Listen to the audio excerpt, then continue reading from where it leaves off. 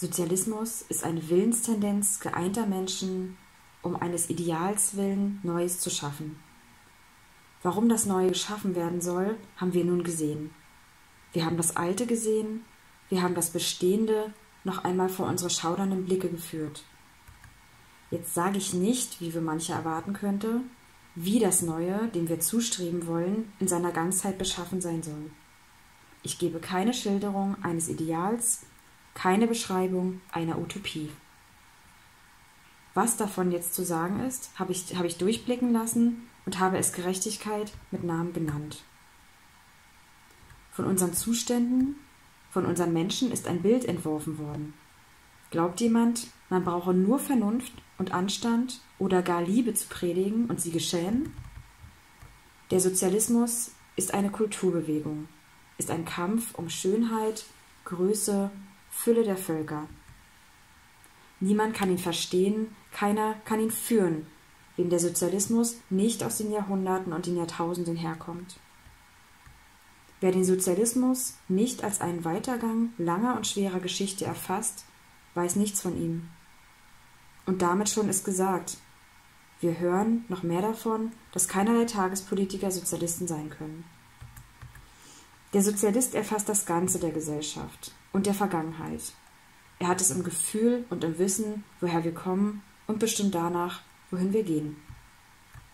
Das ist das Kennzeichen des Sozialisten im Gegensatz zum Politiker, dass er aufs Ganze geht, dass er unsere Zustände in ihrer Gesamtheit, in ihrer Gewordenheit erfasst, dass er das Allgemeine denkt. Daran schließt sich dann an, dass er das Ganze unserer Mitlebensformen ablehnt, dass ihm nichts im Sinn ruht, dass er nichts zu verwirklichen ausgeht, als das Ganze, das Allgemeine, das Prinzipielle. Nicht nur, was er ablehnt, nicht allein, was er zu, aus, zu erreichen ausgeht, ist dem Sozialisten ein allgemeines und umfassendes. Auch seine Mittel können nicht am Einzelnen kleben. Die Wege, die er einschlägt, sind keine Einzelwege, sondern Hauptwege. Der Sozialist also muss im Denken, Fühlen und Wollen ein Zusammensehender, ein das Vielfache Sammelnder sein. Mag in ihm die große Liebe überragen oder die Fantasie oder das lichte Schauen oder der Ekel oder die wilde Angriffslust oder das starke Denken des Vernünftigen oder was sonst immer seine Herkunft sein mag.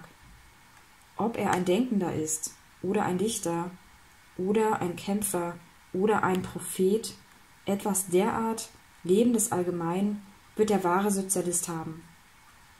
Nie aber wird er, vom Wesen ist hier die Rede, von keinem äußeren Beruf, ein Professor, ein Advokat, ein Zahlenmensch, ein Einzelheitskrämer, ein Heinz Dampf in allen Gassen, einer vom Dutzend sein können.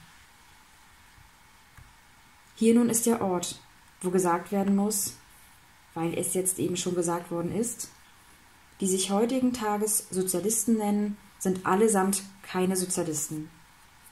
Was bei uns Sozialismus geheißen wird, ist ganz und gar kein Sozialismus. Auch hier in diesen sogenannten sozialistisch, in dieser sogenannten sozialistischen Bewegung, wie in allen Organisationen und Einrichtungen dieser Zeiten, ist die Stelle des Geistes ein elendes und gemeines Surrogat getreten an die Stelle. Hier aber ist die gefälschte Ersatzware noch besonders schlimm, durch etwas Besonderes ausgezeichnet, besonders lächerlich für den, der dahinter gekommen ist, besonders gefährlich für die Getäuschten. Dieses Surrogat ist eine Karikatur, eine Imitation, eine Travestie des Geistes. Geist ist Erfassung des Ganzen in lebendig Allgemeinem. Geist ist Verbindung des Getrennten, der Sachen, der Begriffe wie der Menschen. Geist ist in den Zeiten des Hinübergangs Enthusiasmus, Glut, Tapferkeit, Kampf. Geist ist ein Tun und ein Bauen. Was heute den Sozialismus fingiert, will auch eine Ganzheit erfassen möchte auch die Einzelheiten unter allgemeine Sammlungen bekommen.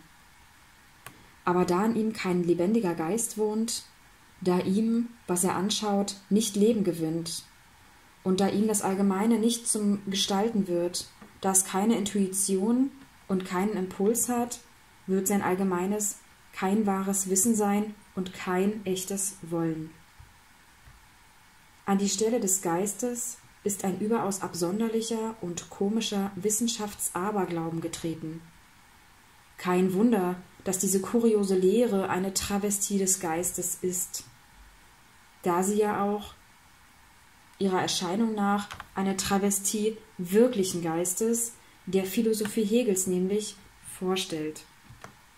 Der diese Droge in seinem Laboratorium ertüftelt hat, heißt Karl Marx. Karl Marx, der Professor. Wissenschaftsaberglauben anstelle geisthaften Wissens. Politik und Partei anstelle des Kulturwillens hat er uns gebracht.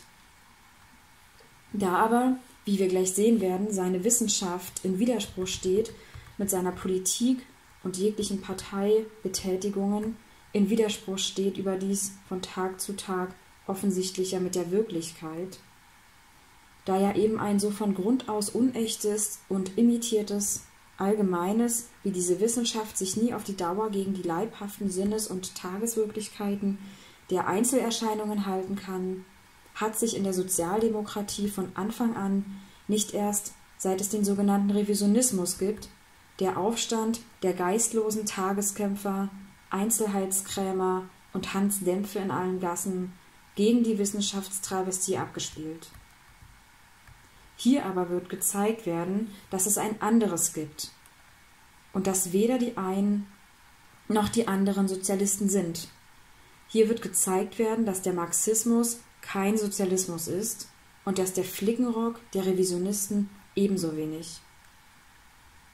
Und der Flickenrock.